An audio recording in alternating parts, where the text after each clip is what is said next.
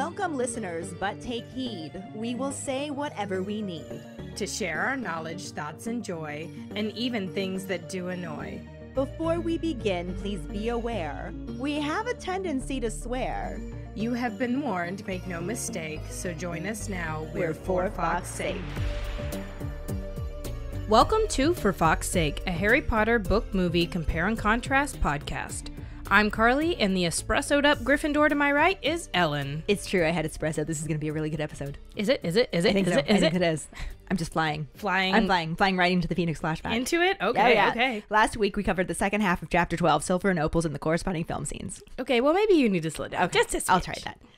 Our book and movie scenes lined up pretty well.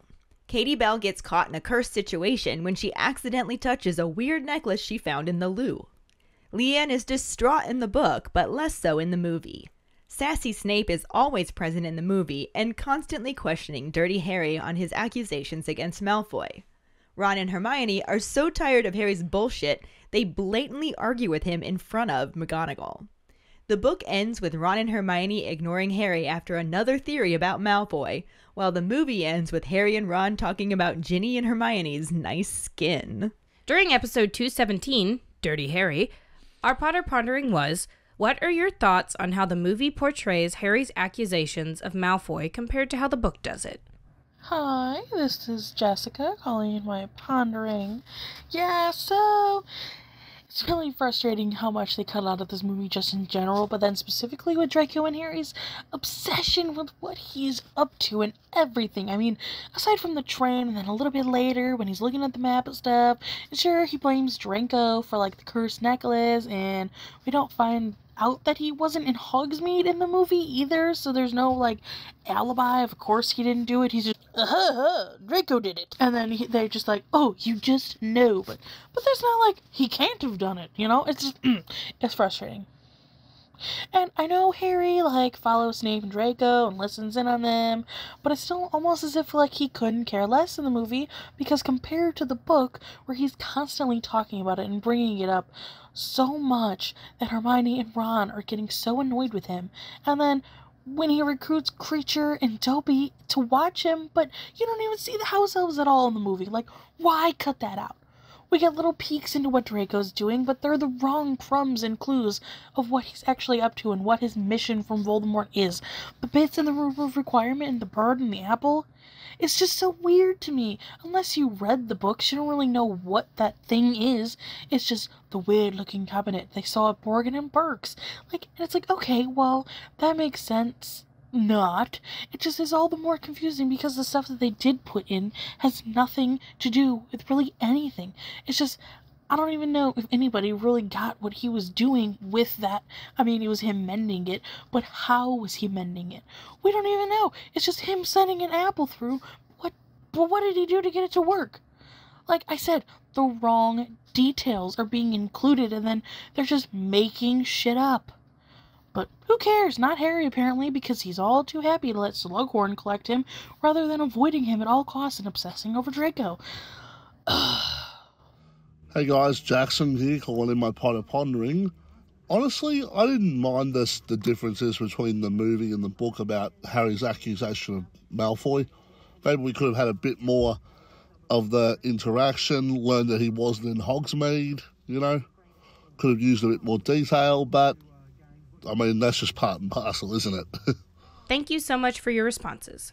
Our trivia question last week was How much money did Merope get for Slytherin's lockets? Caractacus Burke only gave her 10 galleons for the near priceless locket. Congratulations goes to Callista White Wolf and Jessica Wallace. Yay!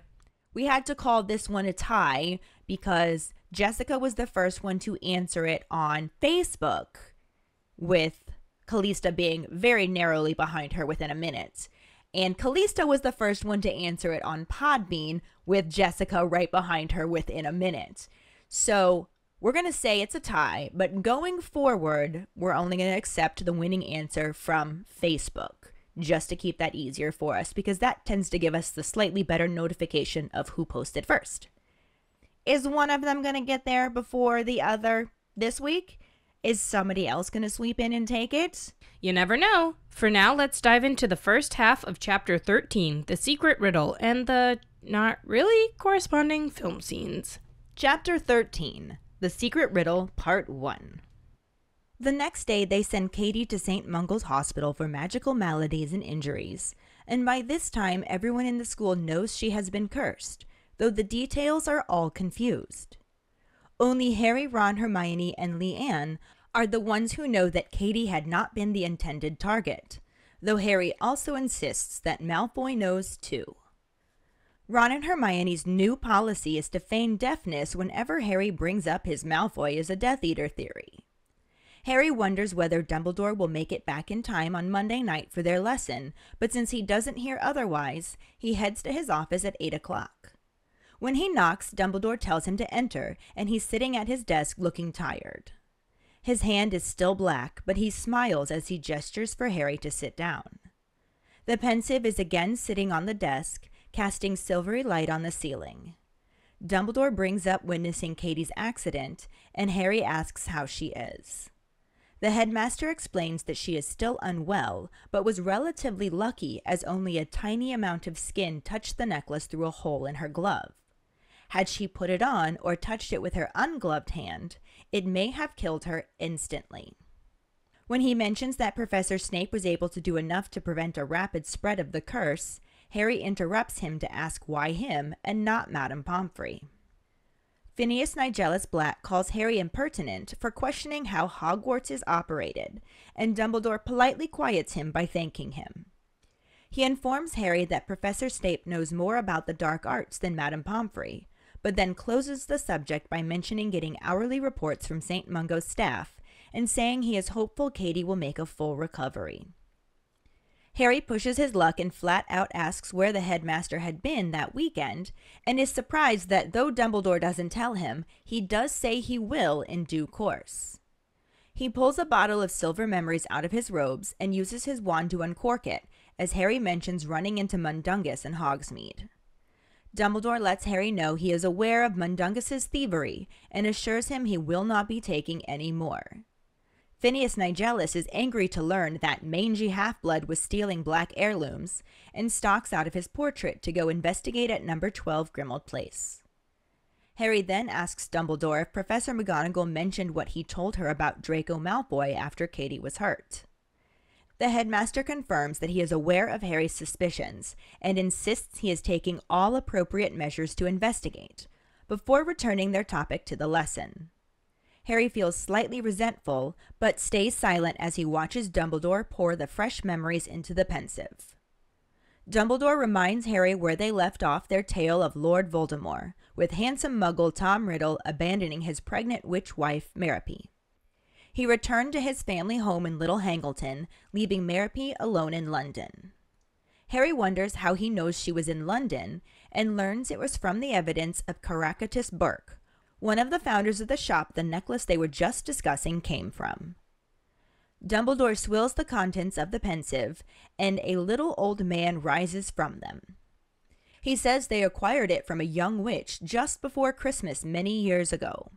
She said she needed the gold badly, which was obvious, as she was covered in rags and clearly pregnant.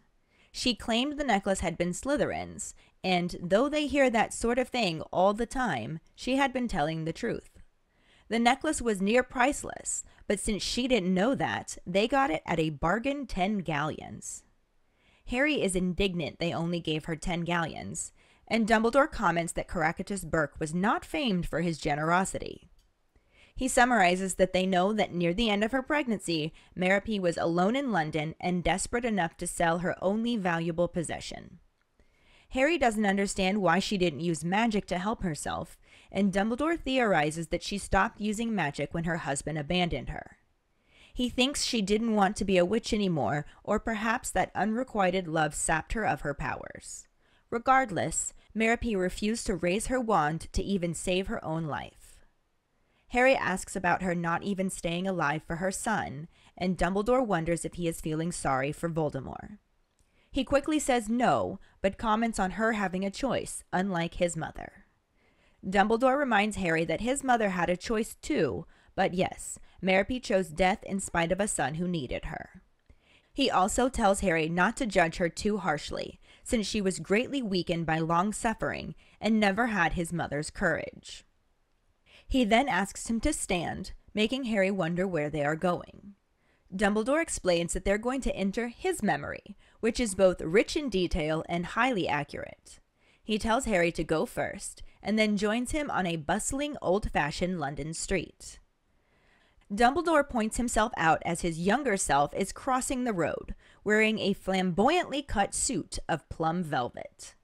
His long hair and beard are both auburn, and his suit seems to be drawing many curious looks. Unable to stop himself, Harry says, Nice suit, sir, and Dumbledore chuckles. They follow his younger self through the iron gates into a bare courtyard of a grim, square building surrounded by high railings, and watch as he mounts the steps and knocks on the front door. A scruffy girl in an apron opens it, and he wishes her a good afternoon before saying he has an appointment with the matron, Mrs. Cole.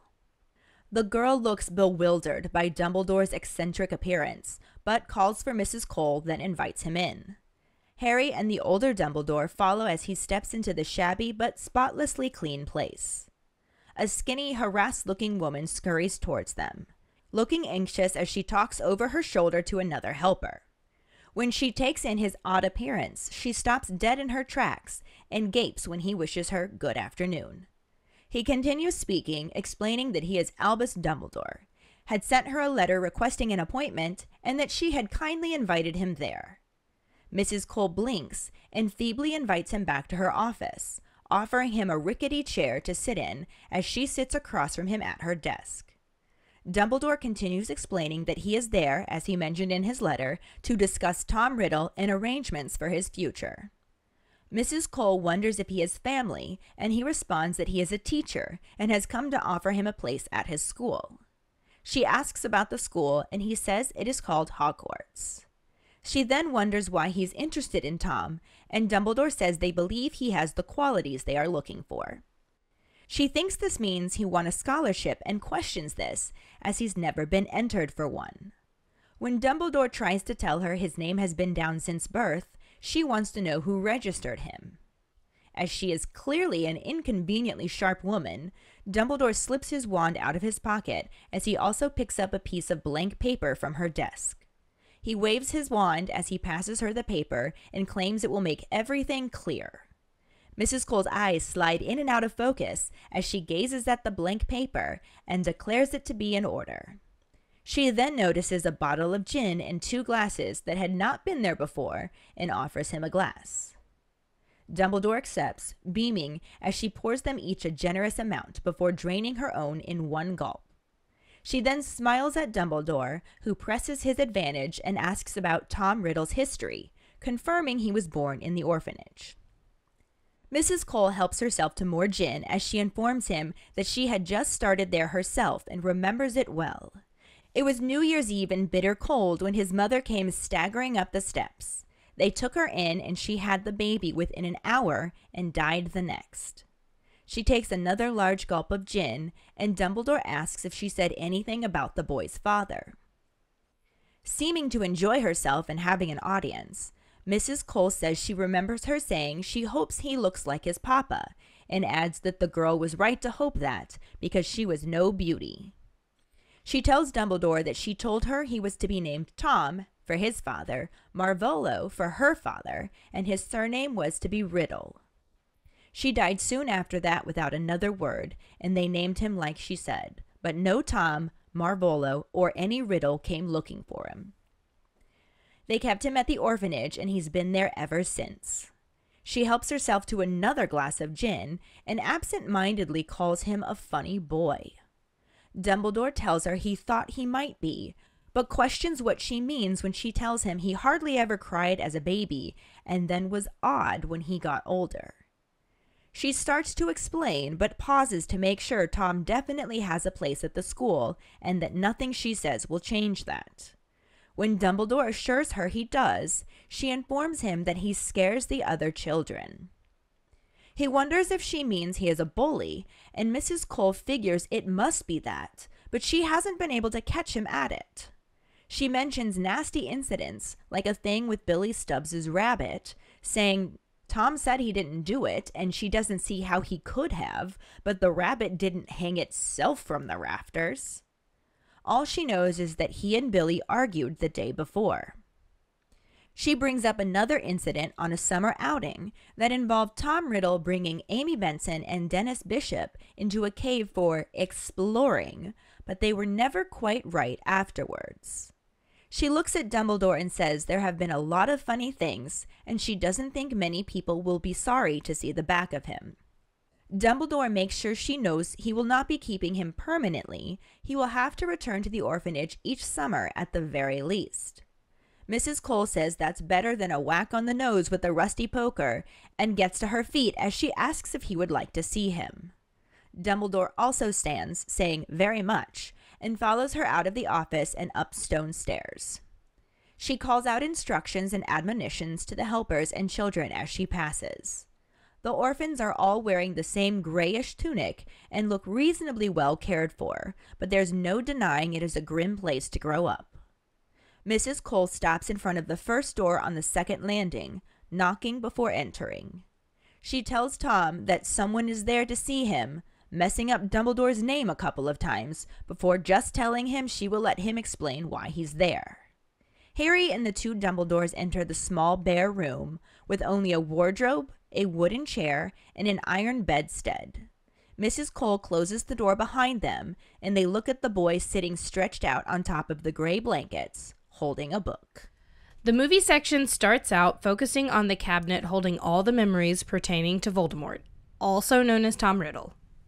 It rotates a little, and Dumbledore reaches in to pick up a vial, saying it contains the most particular memory of the day he first met him. He holds it up for Harry to see and tells him that he would like him to see it. Harry steps forward and takes the vial from Dumbledore's hand, looking a little apprehensive. He uncorks it as the two walk over to the Pensieve and then pours the contents into the basin. The memory spreads through the liquid surface like black smoke, and Harry bends forward to stick his face into it. The camera transitions through the liquid, filled with black, smoky figures that gradually solidify into an old London street. A man holding an umbrella walks towards a building as more smoke figures pass by and go in and out of various levels of focus. The camera pans up on the gate surrounding the building with a sign that reads Wool's Orphanage and a woman's voice admits to some confusion about Mr. Dumbledore's letter. The scene moves to show a woman leading Dumbledore up a staircase as she explains that in all the years Tom has been there, he's never once had a family member visit. It cuts to them hesitating in the corridor as she explains to him that there have been nasty incidents with the other children. Then shifts again to the woman knocking on a door. She pushes it open and says, Tom, you have a visitor. Figuring out where to cut this section Was, was kind of strange. there just wasn't much that happened in the movie scene compared to the book scene. Yeah, the book scene. I like The book that. scene. this does line up well. It just takes out so much. And some of it is such delightful stuff, too. Yeah, there's lots of really cool stuff that happens in this scene, but they obviously can't include Katie being sent to St. Mungo's since they never put out that St. Mungo's is a thing in the movies. Hmm. Ever. Hmm. Yeah, that's where the book chapter starts is learning that the next day after this incident with Katie Bell, she's sent to St. Mungo's Hospital for magical maladies and injuries. And by the time this happens, it's spread around the school that she's been cursed, but nobody really knows what actually happened. Basically, it's just the trio and Leanne that know that Katie wasn't the target. That would be so scary, though, to be like, oh, somebody got attacked at the school. They got literally cursed. I feel like they probably should have made that information known Yeah. because this kind of attack would make a parent pull their kid out of school, I would think. And I think people do start pulling their kids out of They already have at this point, Is- too.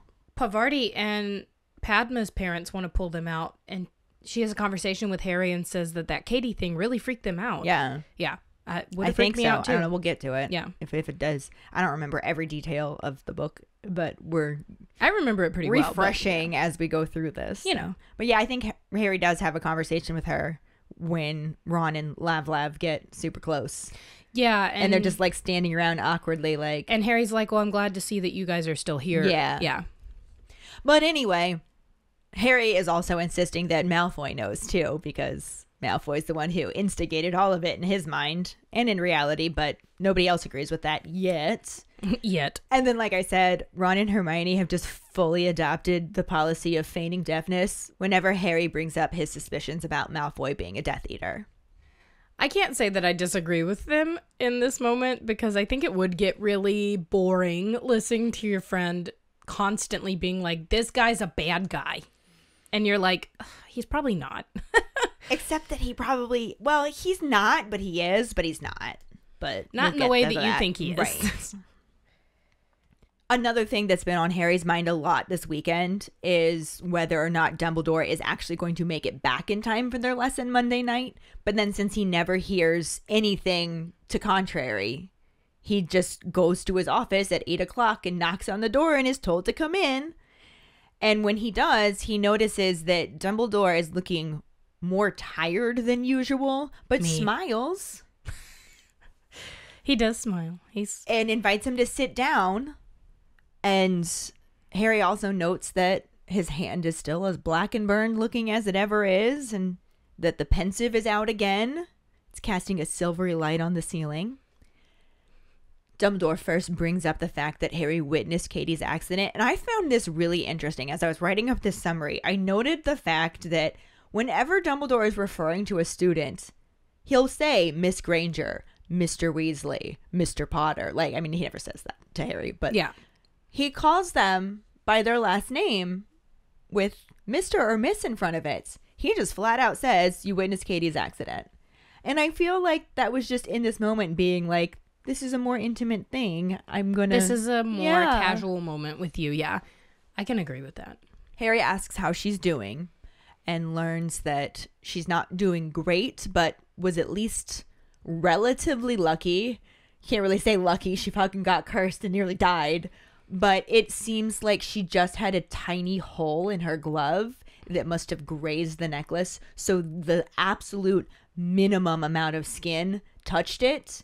And he says that if she had put it on or held it in her bare hand, it dead. probably would have killed her instantly. And that Snape was able to do enough to prevent a rapid spread of the curse. I hate this part. I hate Harry. Harry's just moment. like, why him and not Madame Pomfrey?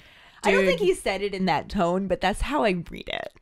when Jim Dale reads it, he reads it in a really defensive way. Like, why him and not Madame Pomfrey? Which, okay, you standing up for Madame Pomfrey, that's kind of what it feels like. But I know he's not. I know it's he's just like, standing up for her and more hating Snape.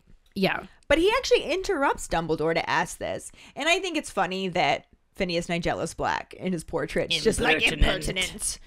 Me too, I've though, never let a student question how Hogwarts is operated back in my day. well, you tortured people, my friend. So Right. goodbye. Back in your day. Back in my day. And I love that Dumbledore's just like, yes, thank you. yeah, he's like, shut up. It's like dismissal, but in a polite way. And he does actually answer Harry's question. Like, little reminder Snape, Professor Snape, because he's yeah, he always he very always says respectful, Professor Snape. knows more about the dark arts than Madame Pomfrey. It was That's fair. like literally Snape At could look at it reason. and look at the necklace and be like, "This is what needs to be done to help her." And Madame Pomfrey probably would be capable of doing it, but she may not immediately know what the curse is on the necklace. It's true. And then he also says that he's getting hourly reports from St. Mungo's staff and says that he's so hopeful nice. Katie will make a full recovery. It kind of makes me wonder if for a while those reports are just she's still in a coma, dude. she sneezed. Ah, I think that that's the classiest moment for me. Seeing Dumbledore as a headmaster, he's really looking out for his students. Yeah. And I think that would be the same whether she was a Gryffindor or a Slytherin. Or I think a lot of people think that Dumbledore's this Gryffindor obsessed, always have to, you know, win, blah, blah, blah. But I think he genuinely cares about, especially students who are around Katie's age. That's like the age Ariana was when she died. Yeah. So I can't I can't even imagine how hard that is for him to see somebody in that kind of situation. Yeah. At this point, Harry just flat out decides to press his luck and is like, Don't. Where were you this weekend? Where'd you go? He was at a gay strip club. You need to calm down. Right, back off, dude. no, what I think is really interesting, and it definitely surprises Harry and probably Phineas Nigellus too. But I was at a gay strip club. no, he says, I'm not ready to tell you yet, but I imagine I will in due course.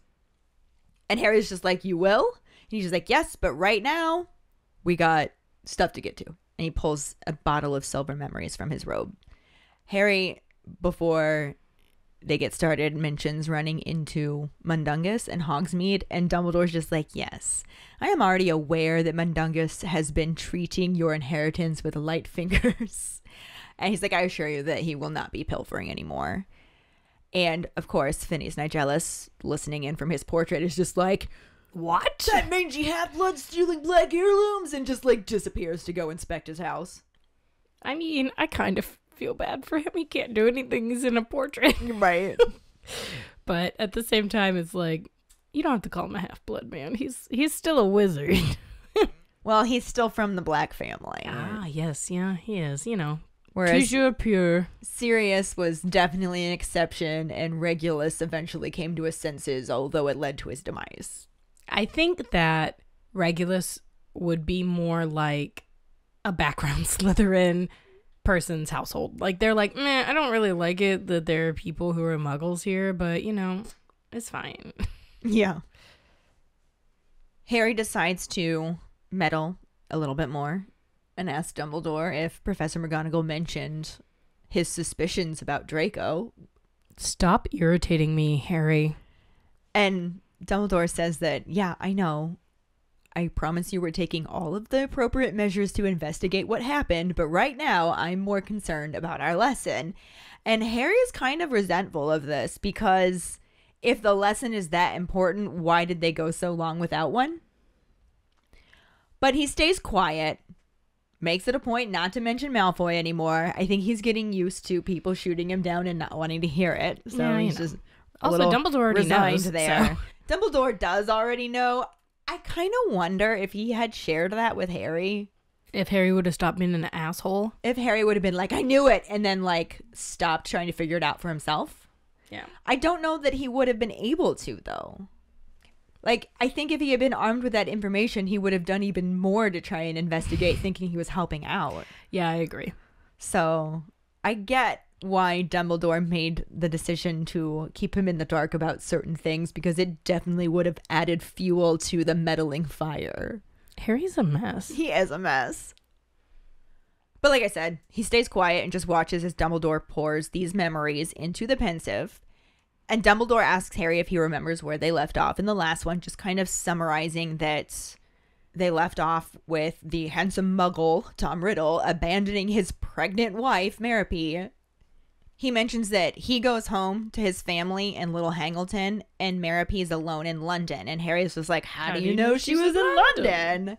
And he says that it was from the evidence of one Caractacus Burke, one of the founders of the shop that used to have the necklace they were just discussing. What a coinkydink. Hmm. this is such useful information. And did they get this from Caractacus Burke himself? Or is this like a memory where Dumbledore went and interviewed him? Or none of the above?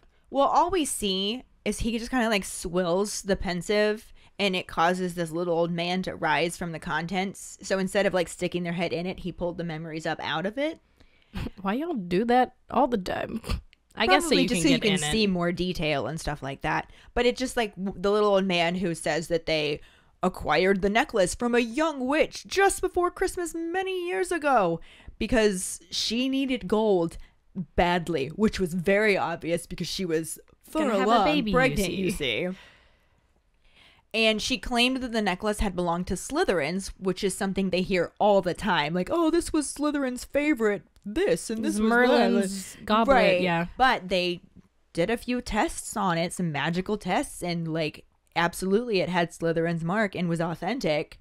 So she was telling the truth, which makes the necklace near priceless, And he gave her 10 galleons. which, was, our, trivia, question. And absolute bullshit. And even Harry's just like, Are you kidding me? Only 10 galleons? And Dumbledore's like, Well, Caractacus Burke was not known for his generosity. And no, he, that douchebag, got the deals that he could get. I wonder how much he ended up selling it for. Near priceless, though. I mean, Yeah. he specifically says it was near priceless. So, I mean, I don't know. So shitty. yeah, very shitty. But anyway, Dumbledore says that from that, they know that near the end of her pregnancy, Merope was alone in London and desperate enough to sell her only possession worth anything that was something that was super important to her father. And Harry's just like, why wouldn't she just use magic to help herself? That like she was a witch. Why would she s- just bleh. Harry doesn't understand trauma. It's I mean, Harry does understand He does, trauma, but he doesn't but he understand doesn't the understand lack trauma of response. strength and courage. yeah, because he's a Gryffindor. Gryffindors don't understand that. Maripy is not a Gryffindor. She's not a Slytherin either. To do anything for herself? No. Well, I don't know. Giving the dude that you are obsessed with a love potion is pretty ambitious. And getting him to marry you and give I you a baby, so, that, but still. like that was a pretty Slytherin ambitious trait. Okay. she just has so much trauma and there's so much damage there that like when he left her she really lost the will to live I get it. at least she survived long enough to give birth i guess but is that really an at least since she gave birth to a super evil wizard Who would have been completely different had she. Not that you choose to survive that kind of situation, but if she'd She- taken better care of herself during, could have chosen to survive that situation I think if with her she magic, was in yeah. a better place yes. And that's what Dumbledore ends up explaining to Harry is that he thinks she stopped using magic when Tom Riddle Sr. abandoned her because That makes me sad. what else did she have to live for after that? Like that was her escape, that was her fantasy. That was probably the one thing that kept her going in that horrible situation she was in and then she lost that. And I'm sure that she did love her son. I'm sure that she just had absolutely no idea what she could provide for him in the state that she was in. And that wasn't enough for her.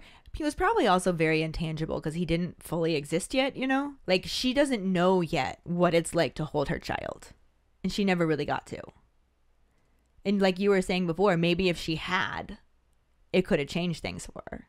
it's a complicated situation and she could have like gotten a job at the orphanage and like that could have given her a stable place for him to be at least But I think by then it was too late. I think that she, there was just nothing left to her. i can't imagine walking somewhere having contractions i mean i did walk to into the hospital and walk into the you know i walked to the area where they had me but oof, she had to be like walking around and she gave birth within an hour so she was like way far into the labor process Yeah. and I think that maybe if she had waited longer to reveal the truth to Tom Riddle and he had stayed with her the whole time and then she had given birth and it was healthier and like cared for by her husband who was loving her because he was forced to. But I think like had she been stronger when she gave birth and actually gotten to hold her son, then she probably would have found that will to live. Mm-hmm. But I think because she had to do so much by herself for so long and was so weak, it wasn't real to her. It was a rough situation. Yeah. Absolutely. And I mean, Dumbledore says that. He says, you know, don't judge her too harshly. And that's a really kind thing for him to say. Yeah, I think. I think he says that. I think he's right too, all things considered. But I think he mostly says that because Harry thinks that she had a choice and his mother didn't. Yeah. And he is pointing out that, oh, your mother had a choice. She could have chosen to let Let you die. right. I don't think she could have. N- No. I don't think she could have. As but a mother, I will say But she probably not. could have. Like she could have, yes. Unless she had you're that, that, option. fucking mother that leaves your child alone for 10 days while you go on fucking vacation. Did you see that? Did and I held Liam um, extra close Oh to me. my god. I was like, what the fuck is Did you hear what the judge said to her? No. He said something along the lines of just like you did to your child, you're going to be locked up for the rest of your life. The only difference is that jail will feed you. I mean, 10 days without food, sweet baby. Like, Some people, some people should not be parents. should not be parents. I do, however, think that sometimes when you have a tiny human and you've gone through a lot of trauma, I think that frequently that can help you get that will to get past the trauma and raise a really good human being. I think it can, but I also think Sometimes it can just continue the cycle. It can. There's a lot of stuff, a lot of stuff, but I don't think Merope would have continued the cycle. I think she would have been a stop all done cycle. I don't know. It's hard to say. She literally had no decent role models and was willing to drug somebody to get what she want. Like, I, she wasn't. She. It's hard to say. Hard to say. And we'll never know unless Yeah. you write a fan fiction about it and send it to me. Please. But it's so emotional and so tough. And it is a huge what would have happened if thought. Mm-hmm. Absolutely. But like I said, Dumbledore points out that Merope was very weak from her long suffering. Physically and mentally. Yeah, and never possessed the courage that Harry's Lily mother did, had. Yeah. So, like I said, it's just so sad. And I think A good villain origin story. it really is.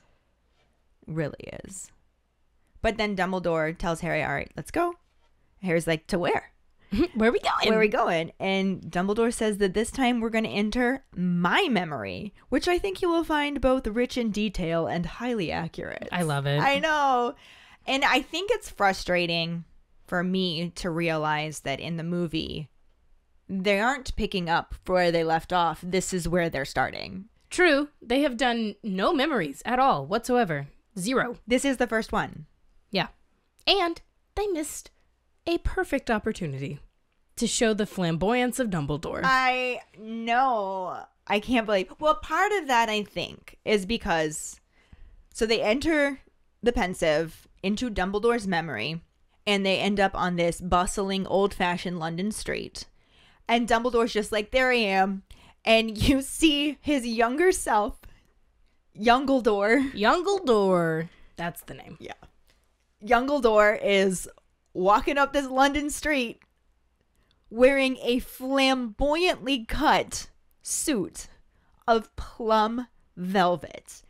And I think in the movie scene, there is a chance the suit he was wearing was, plum, Flamboyant and purple. but they desaturated the scene so Yeah. much to make it look like a like memory. a memory. Yeah. Like it wasn't full black and white. No, but it was like but it was so desaturated. sepian. Is no, it wasn't called? even that No. sepia. It wasn't Sepia. even that because sepia is that like warm orangey brown color. This was a very cool, like bluish grayish tone, but Like it how was Twilight still, was shot. Yeah, it was still possible that that suit was purple. I don't know if it was just my brain hoping that it was purple. It's pinstriped and not velvet. It was not velvet. It definitely was not velvet because velvet texture will still show in Oh, yeah. mostly black and white. But like I Len thinks that I'm tetrachromatic because of the way that I see individual colors and mm-hmm. how easy it is for me to differentiate when they're very similar. So it could be entirely possible that because of that I could see that that suit was still plum Intended colored. to be purple, yes. But it also could just be that my brain was just really fucking hoping that suit was plum colored. I mean, I'm there with you, honestly. But what a disappointing missed opportunity to show Dumbledore's true personality. Cuz you know, you Uh-huh. know, he picked that suit. He was like, Yep. Hmm. I want purple today. Absolutely the moment too where Harry just goes, Nice suit, sir. Yeah, which is so funny. Why? Why would they think we don't need that? And Dumbledore giggles. And it's Yes! just great. Yeah. Why would they think we don't need that? It's also disappointing to me because the book specifically describes Youngledore as having still long hair and beard, but that they're auburn. They did make them darker, so it could have been like what you said, but they auburn. weren't. They were shorter. Maybe a Oh, I thought they were darker. they could have been darker too, but like his hair was shorter. His beard was nowhere near as long. Oh, his everything about him is exactly that's what you're saying. Yeah. Everything about him is exactly the same except his hair is auburn. I really just wanted the long beard and the long hair in an auburn color. He also didn't look much younger. His hair was just different, and he was in a. s- 150, give or take. I really just. You know. I wanted. I mean, I wanted Yumbledore is what I really wanted. But, yeah, Jude Law, come on. Ugh. But no, we got Youngledore in the book. Young. Youngledore and just bad haircut Dumbledore in the movie. True, true, true, true. it did not look auburn to me. Granted, like I said, desaturated to the point that you couldn't really tell, but it didn't look Ah, you know. auburn to me. Yeah. That's not the feeling that I got from it. I do, however, absolutely love the meme where they compare Yumbledore with y- Youngledore in the movie, and they're like, "How did this happen in like 20 years or whatever it was?" I was like, "Clearly, you're not a teacher." Yeah. Exactly. True story. Exactly. All my wrinkles have come from teaching. yeah, the few gray hairs that I have are 100%. I have a lot more gray hairs than you. I got really good genes when it comes to stuff like that. Like my both of my parents. My mom started to get a few and started dyeing her hair around 40, but it was because she found out she was pregnant with my younger brother and did not want to get mistaken for his grandmother. Oh. And my dad, he's now pretty much all gray, but he's 71. Yeah. Yes. Anywho, nice suit, sir. Like, why is this not a thing? Disappointed. I think they did a really good job showing the space. Like going up to the orphanage, I think it looked really good as far as what I imagined. Instead of it just like not lining up at all with what I imagined, I think they did a good job outside of like leaving out the other orphans and the whole conversation, which we'll get to. I agree. I think my biggest disappointed with this section is like they started it off well going into the memory. Mm-hmm. I love the way they do it visually too, like the desaturation. I get why they do that. I'm not a huge fan of it, but I get it. But the way that the smoke when he poured the mm-hmm. memory in, I wish it had been more silvery, to be honest, but yeah, I agree. it gave more contrast visually to do it black, but the way that it started off swirling in the liquid of the Pensieve, and then you had that aspect Still happening in the down memory, in the yeah. transition, and then they like solidified. It was really nice. Mm-hmm. It looked great. It really gave that ethereal, this isn't real, this is a memory aspect of it. Yes, absolutely. And I appreciate that. I don't appreciate not having a plum suit, but you know, whatever I'll take what I can get. right? and then like they walk to the orphanage. In the movie, you actually get the name of the orphanage, which I thought was kind of neat. Yeah, it's Wool's orphanage. Yeah, and you don't actually get that in the book, so it was just kind of neat. It made it a little bit more real, I think. Mm-hmm. And then the movie just skips over all of this delightful stuff that just shows why I love Dumbledore so much. Yes. His But- improv skills. I know, right? But you have the regular Dumbledore and Harry following Youngledore up the road to this orphanage through the iron gates. They describe it as being a very bare courtyard and the building being grim and square, surrounded by high railings, which I feel like the movie nailed. I think that they did a really good job of yes, making this look very grim and and depressing. Right, and the specific description from the book is what it looked like in Yes, the movie. Like exactly. that's what I pictured. But we actually get to see Harry and Dumbledore follow Youngledore up the steps and he knocks on the door. And then there's a little exchange with a scruffy girl in an apron who answers it and is just immediately like weird dude in a purple suit. Like and I wanted more of that. An I, eight year old girl being like, I don't think she uh, was 8 cuz she seemed to work there. Oh, I they have the orphans cleaning the orphanage. That was the vibe I got. I just figured she was an, I'm sure she cleaned it too, but I just got the impression that she was just another one of the younger girls who worked there, but not like a child. Oh, I thought she was an orphan. because Miss Cole started working there when she was just a little bit younger than Merope. So I just figured it was something like that, another Oh, girl. I've like I didn't assumed think it was an orphan girl. I never thought that they'd let the orphans answer the door. An older one, I wouldn't. Maybe I don't know. More responsible. But yeah. I think because she described her as a girl, my brain was like, oh, under the age of 10. Mm.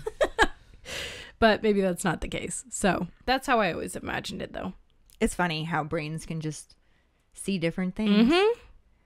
And we don't know for sure because the movie didn't give it to us. Nope. Maybe the show will. We'll see. Youngledore explains that he has an appointment with the matron. He believes her name is Mrs. Cole, and the girl's just like, uh, Okay. one more. Hold up. and then just screams up the stairs, Mrs. Cole! And invites him in. Which is nice. But eventually, I don't think it takes that long, but eventually, Mrs. Cole comes down the stairs and they describe her as a skinny, harassed looking woman. She looks very anxious, but she's not looking at them. She's talking to somebody over her shoulder. Yeah, because Another helper, it says. she says Billy's been picking at his scabs again. And then she just like chicken pox on top of everything else. Yeah. And it's just a very I think it's a really funny like you work with kids, this is kind of what you have to deal with. Like Yeah. there's always pile up of things. So it was a cute Yes, moment. I totally get that feeling. Yes, all the time. And then she's like, "Yeah, you're here to talk to me. Cool, cool, cool, cool. Let's go." All right, let's do this. I do love the fact that she also has that moment where she does finally look at him, takes in his appearance because plum velvet suit, and just Shock. gapes at him. And he's like, Good afternoon. As polite as can be. Explains that he's Albus Dumbledore. And he had sent her a letter requesting an appointment, and she's kindly invited him there. So I'm here for an appointment. Do you remember my letter? Like, and she just kind of blinks and's like, "Better come to my office." Mm-hmm. And he follows her to. Actually, she says, "Better come to my room," which I thought that was so funny, and I started to word it that way, and I was like, "It's definitely described as an office slash sitting room." But it was just so better come to my room, like. Where are we inviting him? What, what, what is avec happening? moi? Interesting. Interesting. But it is like her office slash sitting room area. And she's got her desk that she sits behind. She has him sit in what is described as a rickety chair across from her at the desk. And Dumbledore continues his explanation, like I had mentioned in my letter, that I'm here to discuss Tom Riddle and the arrangements for his future. And Mrs. Cole is like, Are you family? No. And he's just like, No, I'm a teacher. I've come to offer him a place at my school. And so she wants to know about the school. And I'm genuinely surprised that he gives her the real name. He tells her it's called Hogwarts. Now, granted, this is not in a day and age where you can just Google Hogwarts and find shit out about this school. And I'm sure that there's no way for people to know of the existence of every school everywhere. I am intrigued that he doesn't tell her the truth. Just because she does have to look after Tom when he's home, like I feel like it would be beneficial for her to know like he's going to a magic school. And they tell parents. So why wouldn't you But tell the like- legal guardian? Yeah, I feel like parents is a little different than someone who's not going to have anything to do with him. I guess they could always wipe her memory after he's no longer at the orphanage. Yeah. But I feel like it's with the statute of secrecy, and it may have been even more different back then.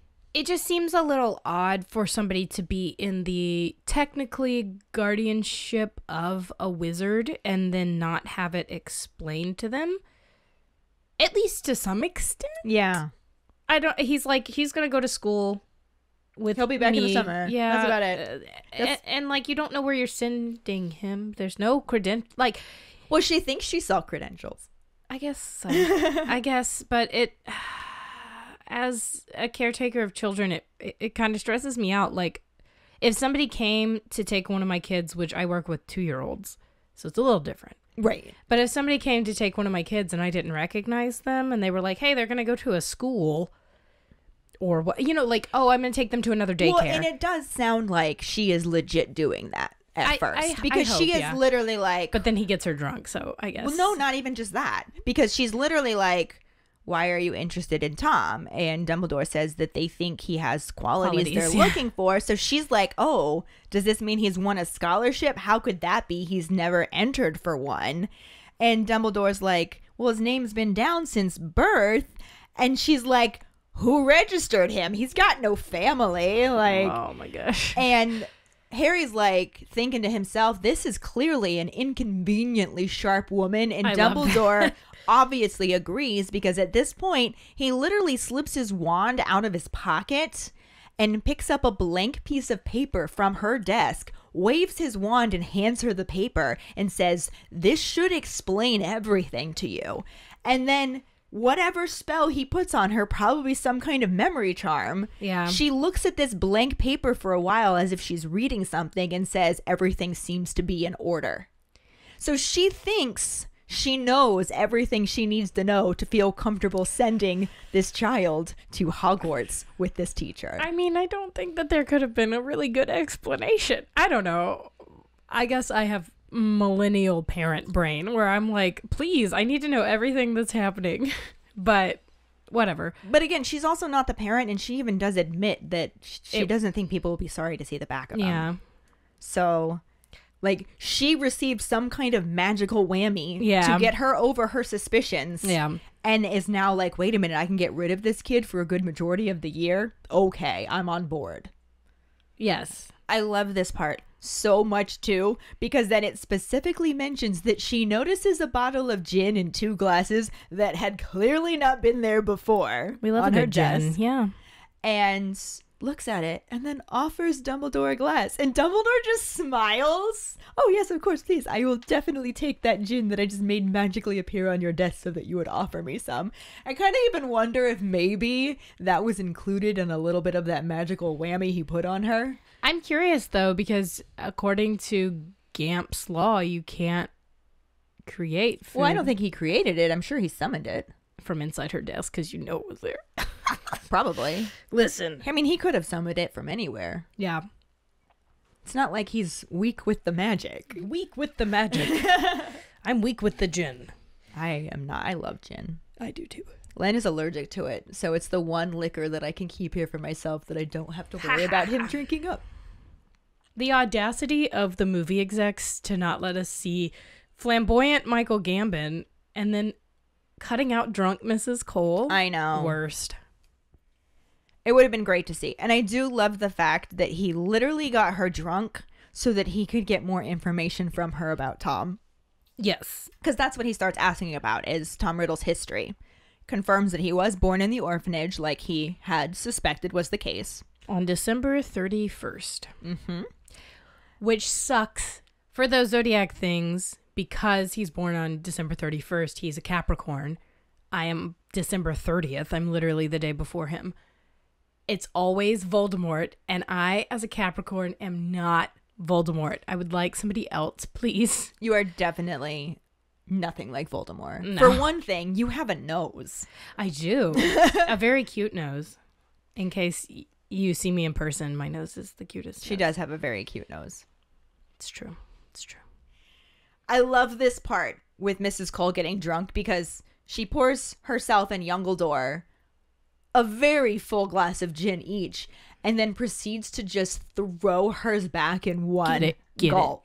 it. Love it. And then she pours herself another and takes a very large gulp as they're discussing Tom Riddle Jr. being born in the orphanage because she says that she remembers it really well. It was literally right after she started, and she was just a few years younger than Merope, so it probably really hit her to see somebody that was close in age to her going through this. So that would mean Merope is probably 21, 22, would be my guess. Maybe. It's entirely possible that Mrs. Cole could have been like 16 at the time and Merope was 19 too. Oh, Like, yeah, maybe. she drinks her gin. She says that it's New Year's Eve, it's cold. The girl has the baby. And then the next hour, she's dead. Yeah, she says she shows up, has the baby within an hour, and dies within the next hour. And she shoots some gin again. Yep. And Dumbledore, Youngledore, is asking about If The- she said anything about the boy's father. the dad. And she said, as a matter of fact, she said he hopes he looks like his papa. And I can imagine a very drunk woman saying this. And then this is and she part. was right to think that. this is the part that gets me every time because she was no beauty. Yeah. girl, get it. Oh. Stop. But I mean, Merope was a little rough looking. I assume so. It must have been even worse by that point. yeah. My goodness. by this point, she's gotten enough gin into her system and seems to be enjoying herself and having an audience to tell this story to. Yeah. Makes you like a lot of people really do like that kind of attention. Especially I figure in a situation like this. if he when- looks like Jude Law, please pay attention. right? but not even just that. I'm just saying, like, when I think about how I spend all day with my students and then I get home and, And I just wanna by bitch about something. myself, Yeah. And I have to wait several hours before my husband gets home. The moment he walks in adult. that door, I like start talking his ear off. And I feel like she probably goes through something similar because it sounds like a lot of her helpers are also Younger. essentially still just children. And then she's constantly taking care of children. She probably doesn't get to interact with adults a lot. Yeah, so having an adult to talk to about a child you're not particularly fond of is probably like, oh, I thought it was weird. I've been thinking he was weird for a long time. Yeah. Yeah. So I just really imagine this being very similar to what I put my husband through after a long day where I haven't gotten to talk to an adult in a while. Yeah. And then you add gin into the mix. Whew. But you know, But she also tells Youngledore that Merope had requested she name the boy Tom for his father, Marvolo for her father, and that his surname was to be Riddle. And she's just like, right? Funny name, I know, when she says Marvolo. girl drunk. And then mentioned that She died. they named him that. And after she died, no Tom Marvolo or any Riddle came looking for him. So they kept him at the orphanage, and that's just where he's been ever since. Helps herself to even more gin, Get it, girl. And then just sort of absent mindedly mentions that he's a funny boy. I like that she mentions he was a funny baby. Yeah. And I think that when she says funny boy, Dumbledore initially thought Haha, funny. like strange things Magic. happen around him, Yep. magic funny, because he says, I thought he might be. I thought he might be. but then when she says that he was a funny baby too, who hardly ever cried, I can't imagine that. A baby Right? that hardly ever cried. that's concerning, I think. Something was going on there. If he hardly ever cried, he hardly ever got held. Yeah. And a lot of studies have proven the more you hold your children, the more their brain develops. So, kids who are not held a lot as babies are usually 30 to 50% less emotionally developed. Yeah, that makes sense. So, funny boy indeed. Yes. And then she said that he was odd when he got older, and that's when too. Dumbledore was just like, What do you mean by that? So I think he initially thought, funny boy, oh, weird magicy things happen around him. Mm-hmm. Odd. Wait a second. That's Different. different. And she starts to explain, but then stops because she's just like, He has a Is anything that I say here going to stop you from taking him to your school? Like he's definitely got a place there, right? And Youngledore assures her that he does. Like, I'll take him away, whatever. You know, Yeah. like this is happening. And she's like, You're not going to change "Whatever." my mind, whatever. and so she explains that he scares the other children. Dumbledore's like, he's a bully. So you're saying he's a bully, and Mrs. Cole's like, well, that must be it, but I've never been able to catch him doing anything. To be fair, even non magical children are good at hiding. That's true. When they're bullies sometimes. She just mentions these nasty incidents Oh dear. that happen. There was a thing with Billy Stubbs's rabbit, and Tom insists that he didn't do it, and she doesn't know how he could have even done it. But then she goes on to say that the rabbit didn't hang itself from the rafters. How did, Did an it? orphan get a rabbit? Was he just like, "Can I have a rabbit?" and they were like, "Okay." Maybe he caught it from outside or something, and oh. maybe he rescued And a Mrs. baby Cole bunny. is really chill and is like, "Yeah, sure, you can have a rabbit in the fucking orphanage." maybe, Maybe. or maybe he was dropped off there with it. Oh, that would be sad for it to die. Oh. Maybe Tom Riddle was jealous that he had a pet or something. I don't know if he gets feelings like that, get your snake, man. right? And Billy Stubbs is mentioned again, but he's the one that had the poor chicken pox. chicken pox. Which maybe it's not a coincidence. Maybe Billy bothers him and Tom gave him the chicken pox through magic. Yeah, but she says the only thing that she knows is that Tom and Billy argued the day before it happened.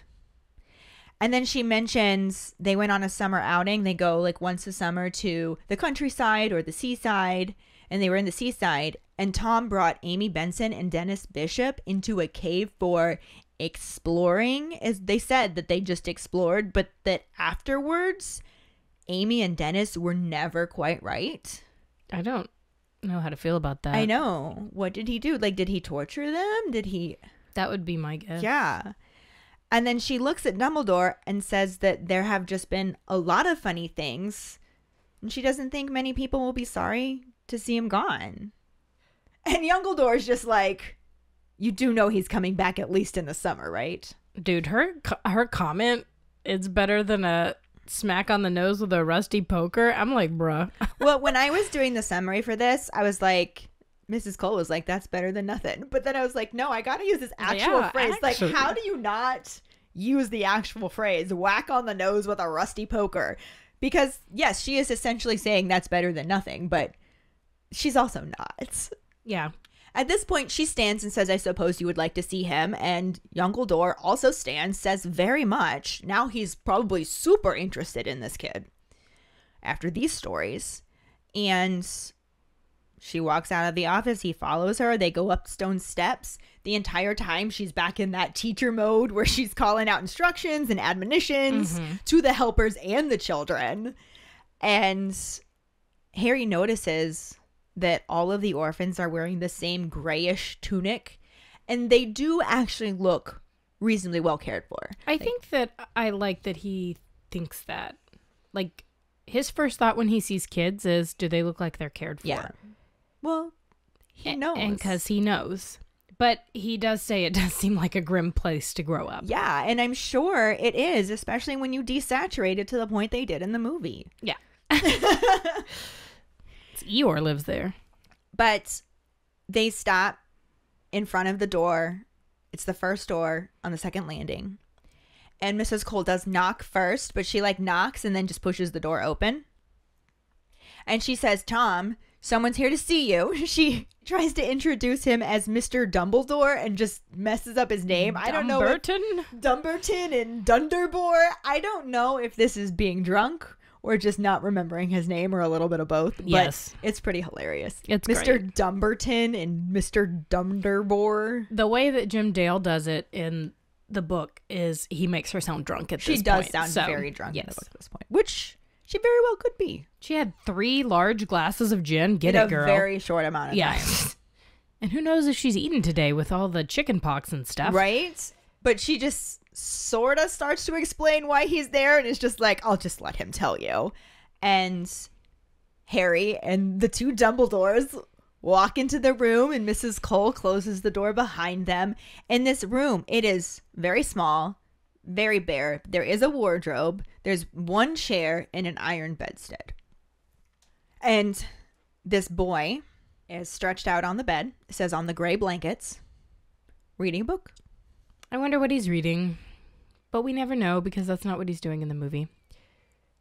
No, and we don't even not. get there.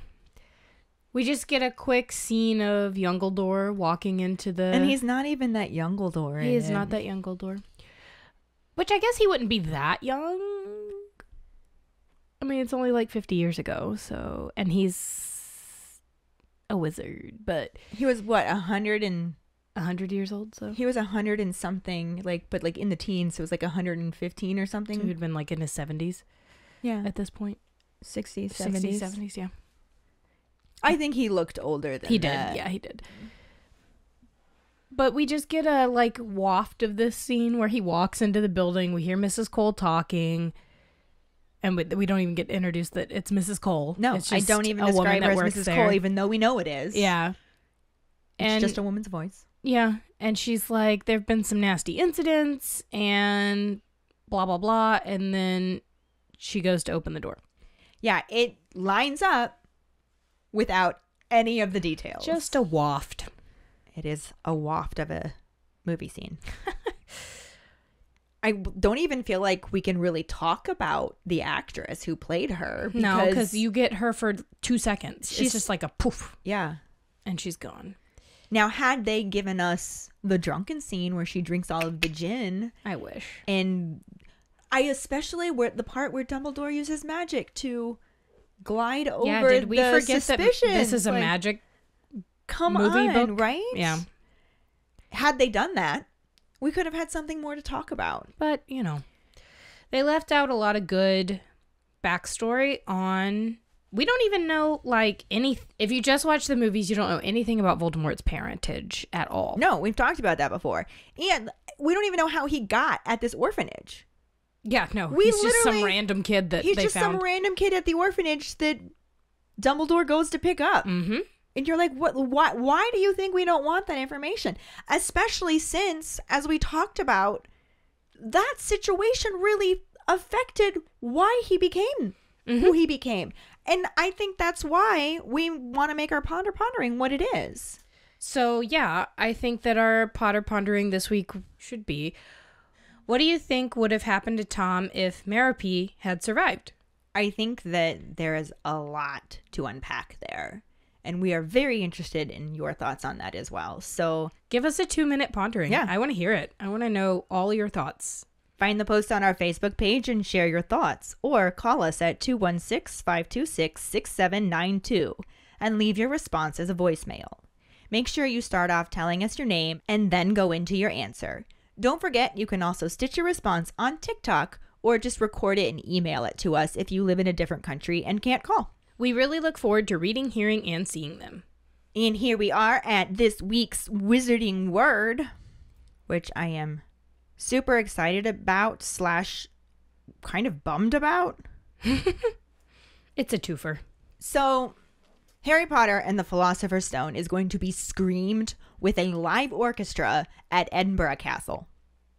And that is amazing. The reason why I'm Sounds bummed about fantastic. it, it's happening on July 14th, Sunday, July 14th. At this point, my husband and I are literally planning on being in Edinburgh like a week and a half after that. Boo. We're literally just going to miss it. And I'm like, oh my God, when is it happening? When's it happening? When's it? Not while I'm there. Maybe they'll extend it. That'd be really cool. We got to go watch Jurassic Park. Mm-hmm. We did Harry Potter and the Chamber of Secrets. you the guys same did, way, yeah. but we, as in me and you, yeah, me and Karlee, and then our husbands and and the baby, and the baby.